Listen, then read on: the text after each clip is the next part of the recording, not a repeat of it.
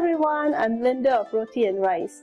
Mangoes are available year-round and with the coming of spring, there's lots to choose from at the grocery store.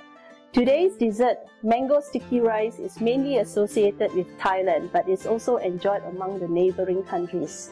The combination of sweet, fragrant mangoes and the richness of coconut-infused um, glutinous rice is marvelous. You have to taste it to fully appreciate it. Here is my version of the dessert.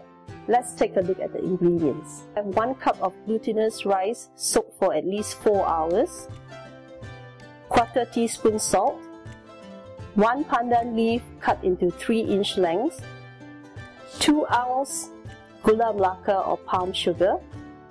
Here is a mix of 1 tablespoon sugar and quarter teaspoon salt, 3 quarter cup coconut milk, 1 mango, and a banana leaf here to line the steaming rack.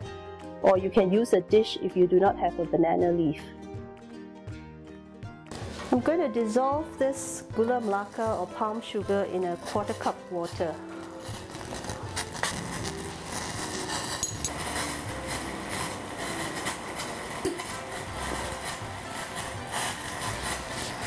Let the sugar come to a boil and um, continue to cook until it's thick and syrupy. After about 3 to 4 minutes, the syrup should be nice and thick. Combine coconut milk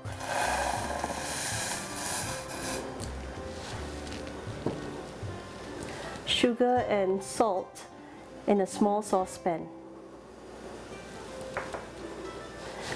Bring it to a simmer but do not allow it to boil. We just want the sugar and salt to dissolve. When it comes to a bare simmer, you can turn off the heat. Place the uh, soaked glutinous rice in the steaming rack.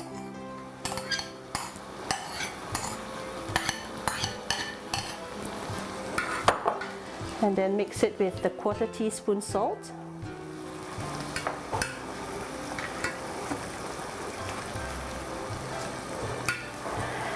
and then place it on the steamer. Stick the pandan leaves in the rice. Cover and steam for 20 minutes. While waiting for the glutinous rice to cook, cut the mango and leave it to chill in the refrigerator.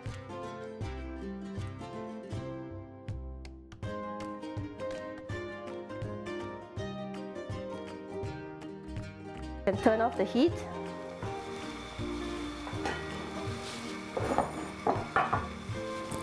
and remove the pandan leaves.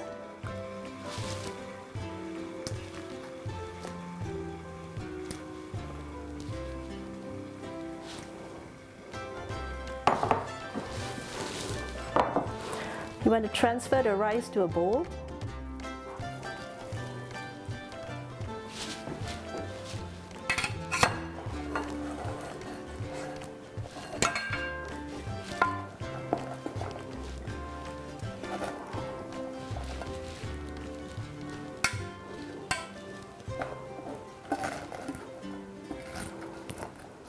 Smells really fragrant.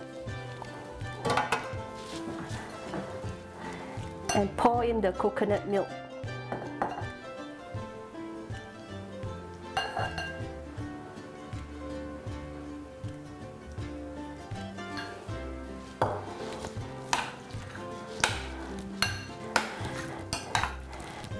Give it a good mix. It will look like there's too much sauce, but it will be okay. You have to let it sit and the rice will absorb all the coconut milk. After about 15 minutes, all the coconut milk has been absorbed by the rice and it's now ready to be served.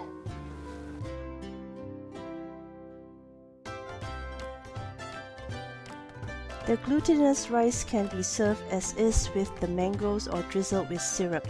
Either way is delicious. I hope you have enjoyed this recipe. If you have any comments, do write them below. Please remember to subscribe to my channel for future recipe updates. See you in the next video and as always, happy cooking and thank you for watching.